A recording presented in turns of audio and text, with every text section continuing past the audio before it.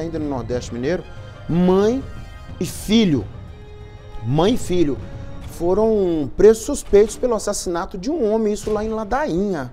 É, o corpo foi enterrado em uma cova rasa em uma plantação de mandioca. É.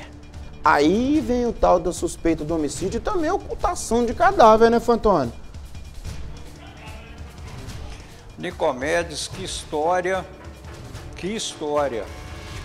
Apenas para atualizar, o jovem de 19 anos, filho da vítima, foi colocado em liberdade. A mãe dele ficou uh, recolhida a, a, ao presídio aqui em Teoflotone, à disposição da justiça. O fato acontece o seguinte: o cidadão, a vítima, o Geovan Lopes Batista, de 41 anos, ele veio até o Flotone, onde passou por uma cirurgia na região da coluna e foi liberado na segunda-feira.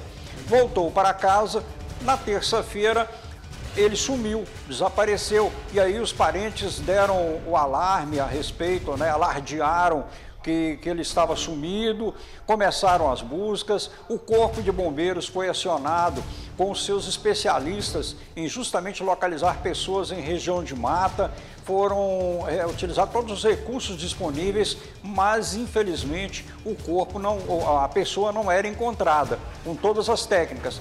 Enquanto o Corpo de Bombeiros Nicomedes fazia essas buscas, a Polícia Militar fazia o quê? A Polícia Militar fazia os levantamentos e conversava com os parentes. E em dado momento, uma sobrinha começou a desconfiar da situação e aí a polícia conseguiu é, verificar que os depoimentos, tanto do filho quanto da mãe, não eram coerentes. Eles entravam em choque e a partir daí a situação foi ficando mais complicada por conta desses levantamentos, até que os militares do Corpo de Bombeiros observaram que o terreno numa plantação de mandioca estava mexido, característica de alguém ter escavado.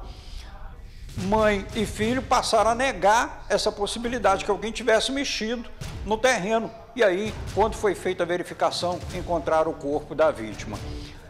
Resultado, chegou a essa conclusão de que a mulher e ela assumiu a responsabilidade de ter agredido o companheiro dela com pauladas e possivelmente o que provocou a morte do lavrador e a partir daí eles enterraram o corpo.